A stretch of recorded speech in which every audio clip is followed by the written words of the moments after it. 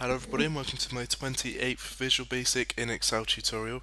And this tutorial is going to go into um, save as dialog boxes. So um, best way to do it is just to show you. Say sub save as um, and we're going to create a little box on here. So we're going to have a little save box um, let's create a little box here so um, add text save and let's just oh don't want to delete it. Uh, center. I don't want to center it into the uh, middle of the thing as well just so it looks a bit better. So save. And let's make it a classic save of blue um, with white writing Right, important bit's done. Uh, and then let's assign a macro, so let's say assign macro, save as. Okay.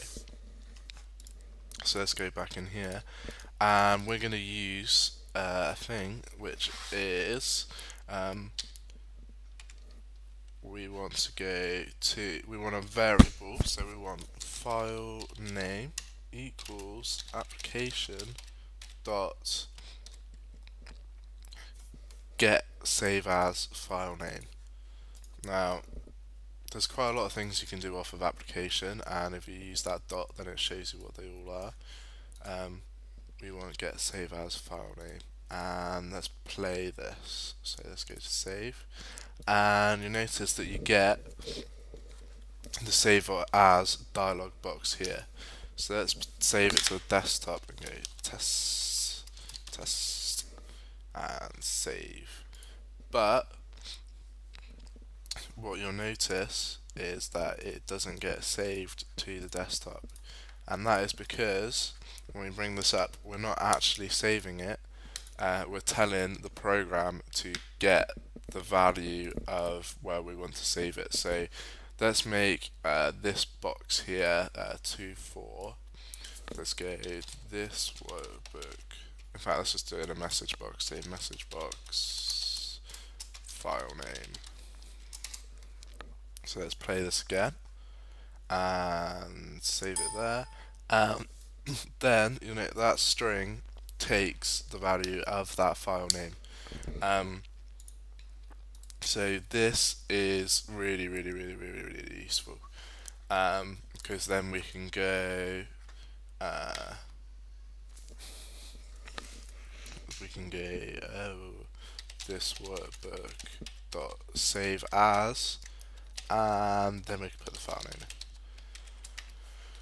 So this is basically just assigning save as to this. So now on the desktop, uh, if we go to open, um, oh I don't want to go to new, uh, to close file open and you'll see that it's saved there. So um, I'm going to add in another box now. Um, and this one's going to be yellow. Um, and in fact I'm just going to copy and paste this one uh, make it yellow. Uh, and we're going to have nice dark red writing this time and we're going to edit that text so that it says open. And so it's pretty much the same thing again only this time I'm going to have uh, by val save as boolean. Right. And then we're going to have if save equals true then do that. Else do this. And then in here we're going to have pretty much the same code only we're going to have get um, open file name so dot get open file name. And then we're going to um, we're going to set dim a workbook as workbook.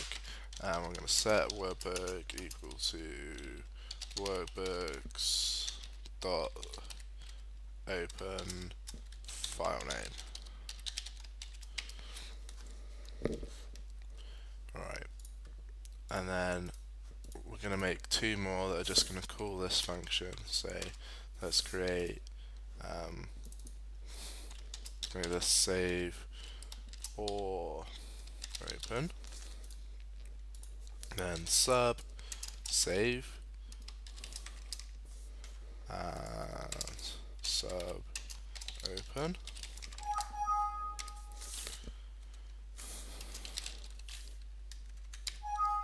and as I'm not using open uh, open workbook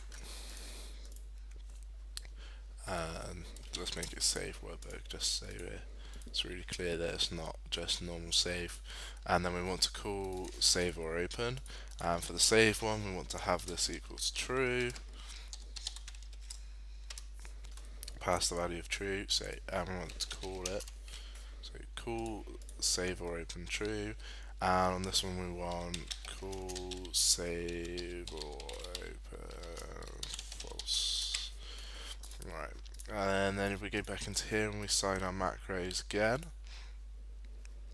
say you notice now that the save or open function hasn't come up in the ability to assign, assign a macro and that's because it takes arguments.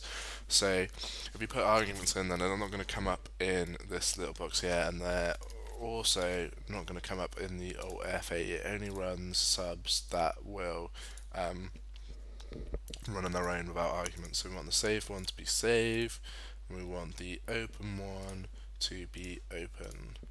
So let's go save open. And then we'll find this here and then we can open it and there we go.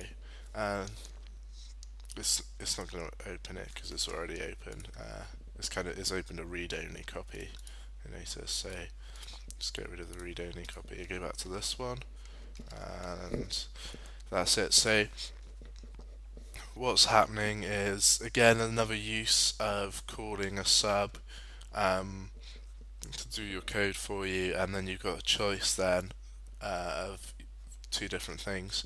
So this is using one sub to do two different things and you can just call it both times but by passing the different things in um, which is really really really useful. So and this is getting the name of file name putting it into a, a message box and just showing you what it is and then saving it as that now you can use this for lots of things. Um, you can use it for mapping uh, where you want things saved to and then getting it to save things to there in future because um, you can store that string in a, a, a cell or wherever. Um, and it's just a nice way to have like save and open. You can have like this. So uh, that's the end of this tutorial. Uh, thanks for listening and if you want to subscribe to my future tutorials please go onto my channel. Uh, and I hope to catch you in the next tutorial